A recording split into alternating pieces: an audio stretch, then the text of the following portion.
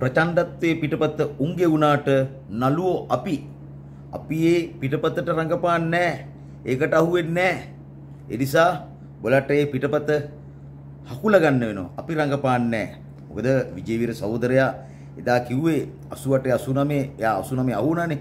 අහුණාන් පස්සේ කිව්වේ ඒ 88 89 මිස් වෙච්ච තැන් ඒ අරගලේ අඩුපාඩු හොඳින් උපක්‍රමශීලීව හඳුනගන්න කිව්වා.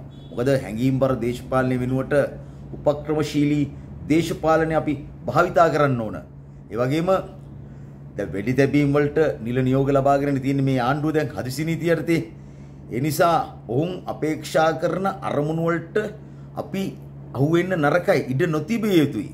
දැන් රෝහණ විජේවීර සහෝදරයා අරගල දෙකකට මුණ දුන්නා 71 88 89. දැන් ඒ නිසා තමයි ඔය හැංගීම්බර දේශපාලනය අවසන් කරලා ඩෙඩ් බොඩීස් වලින් දේශපාලනය කරන එක එක පිළිකුලින් යුතුව අපි පිළිකුලින් යුතුව අපි එක ප්‍රතික්ෂේප කරනවා. දැන් දැන් අර්ථය බැලුවොත් මේ අපි බලන්න ඕන හැමතිස්සම අරගලය නිවීමට දැන් නිවීමට කියන එකට යනකොට මිනිස්සු හිතනවා මේක නිවටකමක් කියලා. දැන් අපිටත් මටත් පාර දුන්නා. අපි උන්ට කවදාවත් පහර දෙන්නේ නැහැ. ඒක නිවටකමක් නෙමෙයි. ඒක අරගලයේ අත්හැරීමකුත් නෙමෙයි. මතක තියාගන්න ඕනේ ඒක. අපි අරගලයෙන් අපි අපිට ප්‍රහාර එල්ල කළත් අපි ශක්තිමත් වෙන්න ඕන. ශක්තිමත් වෙලා අරගලය අවිහිංසා විදියට යන්න ඕන. හරියට මහත්මා ගාන්ධිගේ ඒ අරගලය වගේ. ඒක තමයි ආදරයේ අරගලය කියන්නේ. දැන් උන් නරි අල්ලනකොට අපි නරි නාවන දේශපාලනයක් කරන්න ඕන. දැන් වර්තමාන දේශපාලනය බැලුවොත් අපි දැන් 71 88 89 ඒ ඒක සියල්ල අවසන් වුණේ ඛේදවාචකෙන්නේ. දැන් මේක ඛේදවාචකෙන් අපිට අවසන් කරන්න බෑ. මොකද මේ දවස් ගාණක් කොල්ලෝ කෙල්ලෝ දැන් මාසෙකට වඩා වැඩිනේ දෙයියනේ. අරගල භූමියේ පොඩි ජවයකින්ද මේ සටන් කරන්නේ. ඒ සටන් කරන එක අපතේ යාමක් වෙනවනේ නැත්තම්. ඒ නිසා ඕන්ට ශක්තිමත් වෙන්න ඕන. ඒ නිසා තමයි දැන් අර අපිට සැකයි දැන් මේක මේ සාංගික පිම්බීමක් තමයි මේ අරගල භූමිය.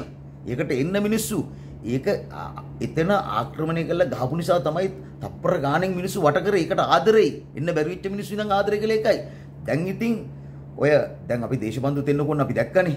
යා උමනාවෙන් ගුටි කෑවා කියලා තමයි මට හිතෙන්නේ. මොකද මේගොල්ලන්ගේ දැන් හිතනවා අවසාන තුරුම්පුව හමුදා ආණ්ඩුවක්. හමුදා ආණ්ඩුවක් ක්‍රියාත්මක කරන්න. ඒ නිසා සවේන්ද්‍ර සිල්ලා අපි ඕකට අහුවෙන්නේ නැහැ. බල මේ බල හමුදා ආණ්ඩුවක් හරි ඒකට කැසකවනවා නම් ජාත්‍යන්තර ප්‍රජාව ඉන්නවා. දැන් ඇමරිකන් එම්බසි එකේ එම්බසිලත් කිව්වේ මේ නිර්පාක්ෂික අරගලකරුවන්ට මේ ආදරයේ අරගලයේ අරන් එන අයට ඇයි පහර දුන්නේ කියලා. ඒ නිසා බලය පහර දීම අපි පිළිකුලින් යුතුව හෙලා දකිනවා.